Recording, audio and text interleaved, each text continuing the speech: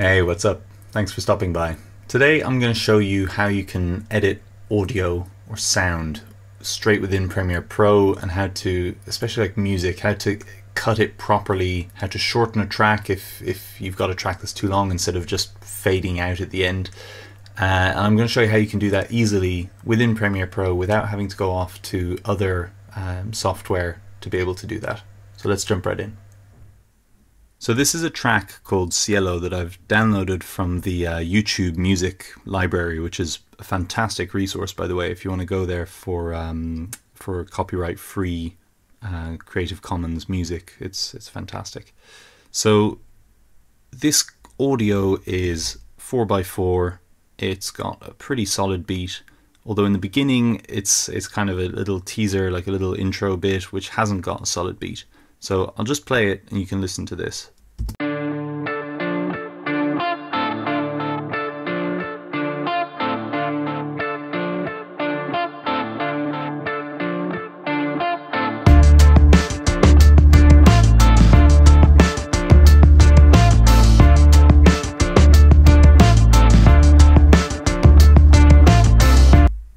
All right. So you can you can even see in the waveform there that it's in it's in blocks. But what I'm going to show you how to do is how to know where to cut basically. So in this intro part, if you just scroll up on this part here, it'll magnify these waveforms so that you'll really see what you're actually looking at. You can actually see the sound that way. It's kind of cool. Um, let's say that we want to cut this in half, but we don't just want to say, all right, well, that looks like it's about half, so I'll cut it. You want to cut it accurately. Well, if you listen to it and you count four, so one, two, three, four. When you get to five, that's when your, your new bar is starting. And here is where that peak is starting, which means that is the new section of music. Now, this might seem really obvious to you, but you can't imagine how many clips I've seen where whoever edited it just had no clue what they were doing with audio. So if you're someone who hasn't got a clue how to use audio, pay attention because this is it's going to increase the quality of your edits just a ridiculous amount.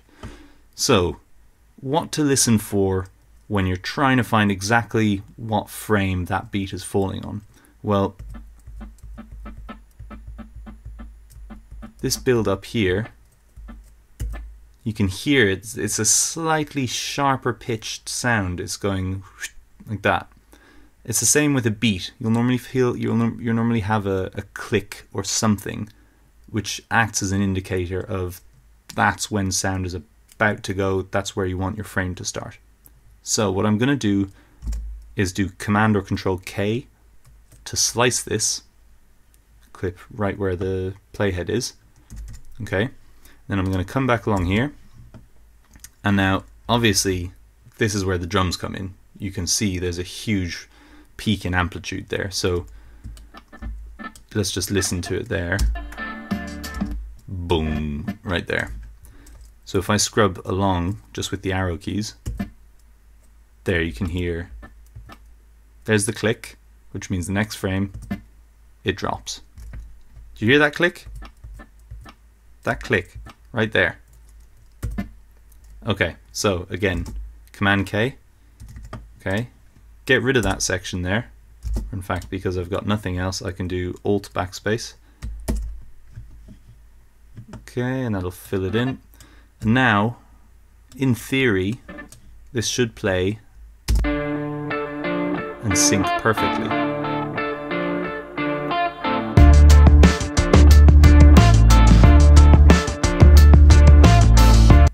Cool. Now, I only need 10 seconds before whatever you know transition goes on. So actually I want the song to finish there.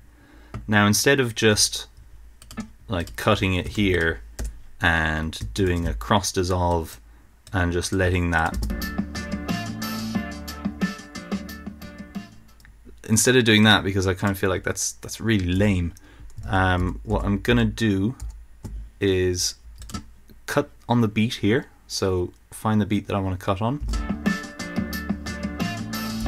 there we go Now if you look, if I zoom in here with the uh, plus and minus, you can see that little peak there. That's, again, it's the start of the beat. So, right there, I'm to cut. Okay, and then I'm going to head all the way to the end, to the last beat. And let's have a listen to the end.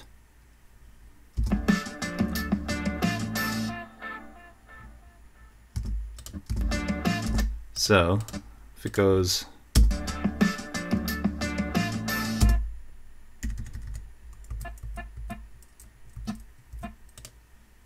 that there is where that beat would be. Because if you count it, one, two, bang. So it's right there. Okay. So now if we zoom out, all the way out, let's just delete that whole middle section and drag this right up. Now, the tail end is just touching that beginning bit. I haven't done any cross dissolving or anything yet, but sometimes you might need to just between the clips to smooth it out a bit because you might get a click. But let's have a listen to this.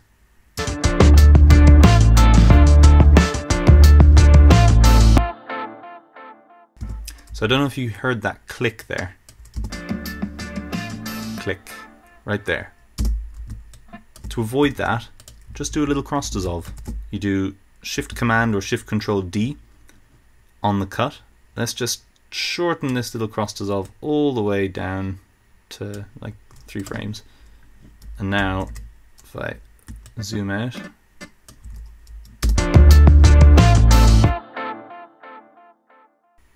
there you go. You got no click. It's a nice clean cut. It's just, it makes a world of difference when you're trying to put a video together, especially if, if you're doing this for a client. You cannot afford to be fading out at the end unless they've specifically asked for that. It's just not, it's not on. Alright, I hope that was helpful. As always, thanks for stopping by and uh, hit that subscribe button down there.